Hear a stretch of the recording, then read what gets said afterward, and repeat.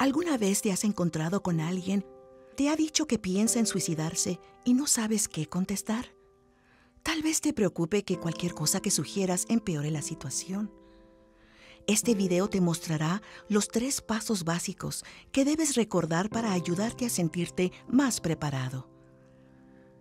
Pregunta, interésate y dilo.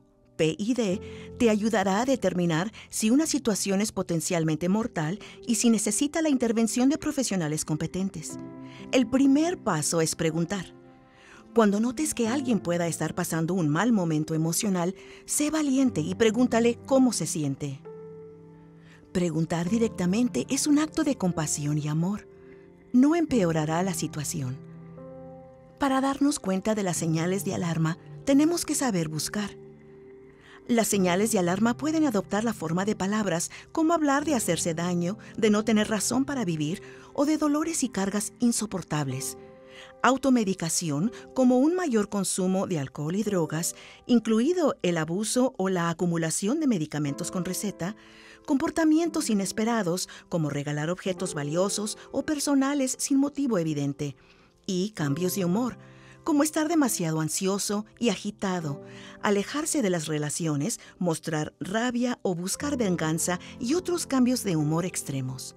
Si percibes alguna de estas señales de alarma, tómate la situación en serio. Pregúntales directamente y con compasión, ¿estás pensando en hacerte daño o en suicidarte? Su respuesta te ayudará a determinar qué hacer en el segundo paso, que es interésate. Escucha atentamente y con empatía lo que te diga. Tómate en serio lo que te cuente.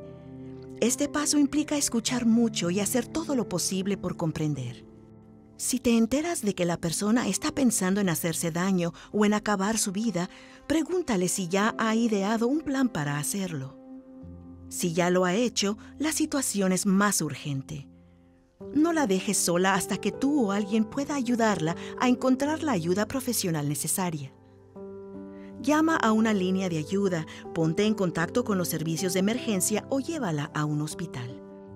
Si tienen pensamientos y sentimientos desesperados, pero aún no han hecho un plan, haz todo lo posible por mantener una conversación afectuosa. Han tenido el valor de compartir contigo sus sentimientos y desafíos, pero no pasa nada si no sabes exactamente qué decir. Eso es normal. Recuerda que probablemente tu amigo también se siente incómodo. He aquí algunas pautas para mantener una conversación afectuosa. Hazlo. Escucha e intenta comprender su punto de vista.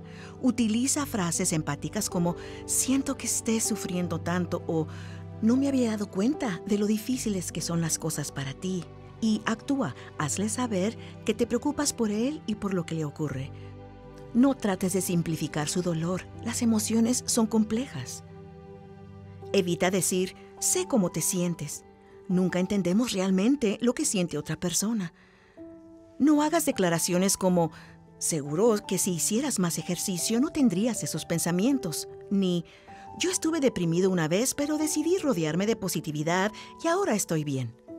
No des por sentado que por el mero hecho de haber pasado por una situación similar, sabes lo que va a resolver sus problemas.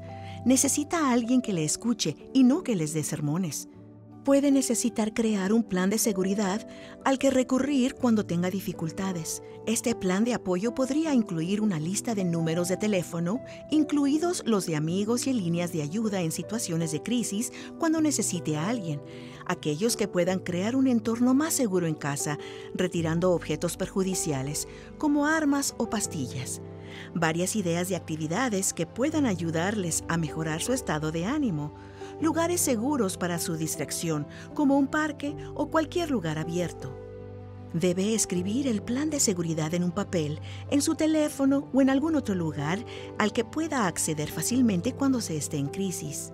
Ahora, una nota importante. Durante esta afectuosa conversación, es posible que tu amigo te pida que no le cuentes a nadie sus dificultades. Explícale que respetará su privacidad tanto como sea posible, pero que puede que necesite más ayuda de la que tú puedes dar. Lo que nos lleva al tercer paso que es decirlo. Respeta la confianza que tu amigo te ha demostrado al abrirse a ti, pero nunca prometas mantener en secreto las conversaciones sobre el suicidio. Si está en crisis, díselo a alguien en una posición de confianza y que pueda ayudarle, como un padre. o madre, un líder de la iglesia, un maestro o los recursos profesionales de tu zona. Apóyalo mientras confía su historia a terapeutas capacitados para tratar sus problemas complejos. Muchos países tienen líneas gratuitas de ayuda que son un buen punto de partida. También puede acudir a un médico o a un centro de atención de urgencias. Si se resiste a buscar ayuda profesional, tienes que decírselo a alguien. Dile algo como, eres importante para mí y deseo que estés a salvo. Voy a decírselo a alguien que pueda ayudarte. No se espera que proporciones todo el apoyo tú solo. El elder Dale G. Renland del Quórum de los Doce Apóstoles ha dicho, el Padre Celestial sabía que esto sería difícil y que necesitaríamos la ayuda de los demás. Tiende una mano de amor y cuida a quienes tienen pensamientos suicidas, han intentado suicidarse o se sienten marginados. Necesitamos tender una mano con amor y comprensión, y lo hacemos junto con los profesionales y líderes eclesiásticos, con el apoyo de familiares y amigos. Pregunta, interésate, dilo. Comprender y poner en práctica estos pasos puede ayudarte a ministrar a quienes necesitan esperanza y ayuda.